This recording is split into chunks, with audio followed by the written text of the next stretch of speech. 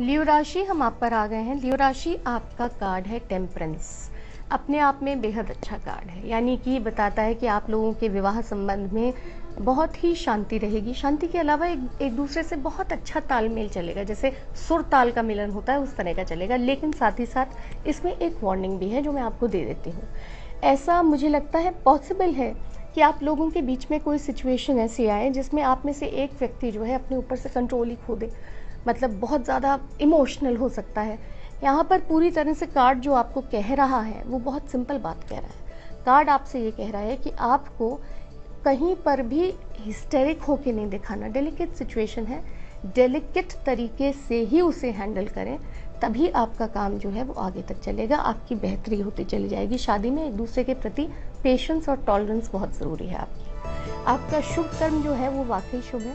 या तो आप अपने बेडरूम में नीले रंग के फूल लगाइए, या फिर कम से कम नीले रंग की फूलों की तस्वीर आप अपने बेडरूम में बेड के पास लगा सकते हैं।